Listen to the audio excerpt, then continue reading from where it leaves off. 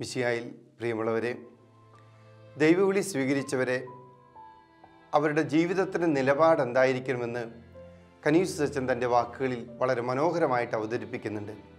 അദ്ദേഹത്തിന്റെ വാക്കുകൾ ഇങ്ങനെയാണ്. ക്രിസ്തുവിന്റെ വിളിക്ക് പ്രത്യുത്തരിച്ച് ഭയം കൂടാതെ കടന്നു വരുന്നവരുടെ കാര്യം ക്രിസ്തു തന്നെ നോക്കിക്കോളും ചിലപ്പോഴെങ്കിലും നമുക്ക് തോന്നാം ഭാവിയിൽ എന്ത് സംഭവിക്കും? നമ്മുടെ പ്രവർത്തന മേഖലകൾ എങ്ങനെയായിരിക്കും? ഇങ്ങനെ അസ്വസ്ഥതകളിലൂടെ നീങ്ങുന്ന ആരെങ്കിലും ഉണ്ടെങ്കിൽ ആ ദൈവവിളി സ്വീകരിച്ചവരോട് കനീസച്ചൻ പറയുന്ന വാക്കുകളാണ് നമ്മളെ വിളിച്ച ക്രിസ്തു തന്നെ നമ്മുടെ കാര്യം നോക്കിക്കൊള്ളും. മറ്റൊരു വാക്കി പറഞ്ഞാൽ നമ്മെ വിളിച്ചവൻ നമ്മേക്കാൾ വിശ്വസ്തനാണെന്നുള്ള ബോധ്യത്തിൽ വളരാൻ അദ്ദേഹം ഓർമ്മപ്പെടുത്തുകയാണ്. ഓരോ ദൈവവിളിയിലും രണ്ട് പ്രധാനപ്പെട്ട തലങ്ങളുണ്ട്. ഒന്ന് കോൾ ഒന്ന് റെസ്പോൺസ് ദൈവം വിളിക്കുന്നു ആ വിളിയോട് മനുഷ്യൻ പോസിറ്റീവായിട്ട് പ്രത്യുത്തരിക്കുമ്പോഴാണ് ദൈവവിളി അതിന്റെ പൂർണതയിലേക്ക് എത്തിച്ചേരുന്നത് നമുക്കറിയാം. ഒരുപക്ഷെ ഇന്ന് എന്താണ് ദൈവവിളി എന്ന് ചോദിച്ചാൽ ഒരു തരത്തിൽ പറഞ്ഞാൽ അനിശ്ചിതത്വത്തിലേക്കുള്ളൊരു വിളിയാണ് ദൈവവിളി.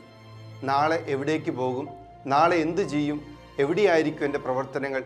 ഇതൊന്നും നമുക്ക് ആർക്കും നിശ്ചയിക്കാനാകില്ല. പക്ഷേ ക്രിസ്തു നമ്മെ വിളിച്ചുവെങ്കിൽ അവൻ വിശ്വസ്തനാണ് അവൻ നമ്മെ പരിപാലിക്കും അവൻ ഏൽപ്പിച്ച ദൗത്യങ്ങൾ നിർവഹിക്കാനുള്ള ശക്തിയും തരുമെന്ന് കനീസൂസ് ചന്ദ്രന്റെ വാക്കുകളിലൂടെ എന്നെ നിങ്ങൾ ഓർമ്മപ്പെടുത്തുകയാണ്. നമുക്കറിയാം നമ്മുടെ നാട്ടിൽ ജീവിച്ച് മരിച്ച മദർ തെരേസയെ നമ്മൾ കാണുന്നുണ്ട്.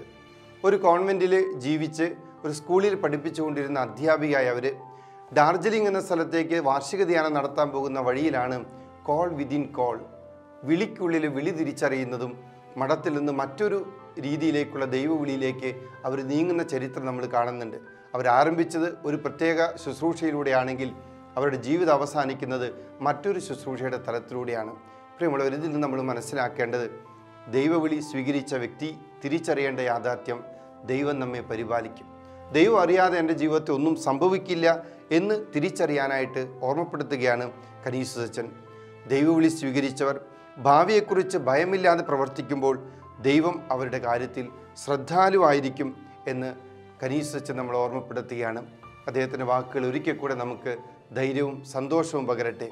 ക്രിസ്തുവിന്റെ വിളിക്ക് പ്രത്യുത്തരിച്ച് ഭയം കൂടാതെ കടന്നു വരുന്നവരുടെ കാര്യം ക്രിസ്തു തന്നെ നോക്കും. ഭയാശങ്കകളില്ലാതെ ദൈവകരുണയിൽ ആശ്രയിച്ച് പ്രത്യാശയർപ്പിച്ച് ജീവിക്കണമെന്ന് അദ്ദേഹം ഓർമ്മപ്പെടുത്തുകയാണ്. അദ്ദേഹത്തിന്റെ വജസ്സുകൾ നമുക്ക് പ്രചോദനം പകരട്ടെ.